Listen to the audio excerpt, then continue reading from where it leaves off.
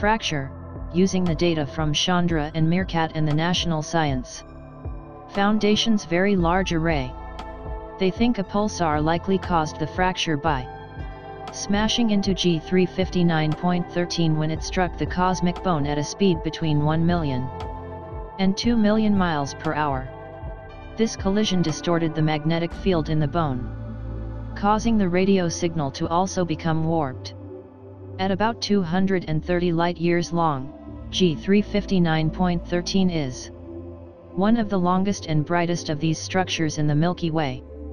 To put this into context, there are over 800 stars within that distance from Earth.